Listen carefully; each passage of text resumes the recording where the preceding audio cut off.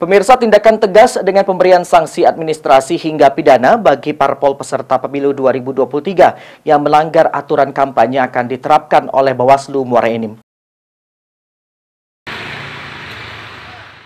Aturan pemilu pada tahun 2024 mendatang hanya memberikan waktu kampanye 75 hari saja, baik itu dari calon legislatif dan juga pasangan calon bupati, wali kota dan juga gubernur, di mana saat ini partai politik hanya boleh melakukan sosialisasi saja. Dalam penerapan aturan ini, pihak Bawaslu Kabupaten Muara Enim akan melakukan tindakan tegas kepada partai politik yang melanggar aturan sosialisasi jika terbukti adanya unsur ajakan untuk memilih, baik itu calon yang diusung ataupun memilih partai tertentu. Himbauan untuk tidak melakukan ajakan atau sejenis kampanye telah dilakukan dari awal bulan kemarin saat penetapan verifikasi partai peserta pemilu. Ketua Bawaslu Muara Enim Suprayitno menegaskan kalau himbauan dan juga pemberitahuan terkait aturan sosialisasi dan juga kampanye sudah disebarkan ke seluruh partai politik peserta pemilu di Muara Enim.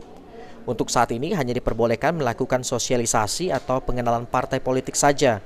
Jika Bawaslu berhasil menemukan untuk ajakan atau sejenis kampanye oleh partai politik tertentu atau juga calon yang diusung partai tertentu akan dilakukan tindakan tegas dengan memberikan sanksi mulai dari sanksi administrasi hingga sanksi pidana. Pada saat di lapangan nanti ada kegiatan partai politik yang tujuannya menyampaikan visi misi atau mungkin ajakan untuk mencoblos partai A nomor sekian itu tidak diperbolehkan atau dianggap melakukan pelanggaran. Apabila kalau, ditemukan gitu? Kalau ditemukan, seandainya yang menemukan itu adalah kami penyelenggara, pengawas baik tingkat desa, kecamatan maupun kabupaten pasti akan kami proses sesuai dengan aturan yang berlaku. Terus sanksinya tergantung ada yang sifatnya pidana, ada yang sifatnya administrasi, tergantung jenis pelanggaran.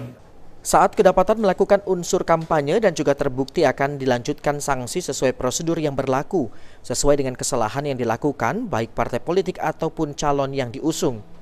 Masyarakat juga bisa ikut serta dalam melakukan pengawasan agar peserta pemilu tidak melakukan kecurangan dan juga merugikan pihak lainnya.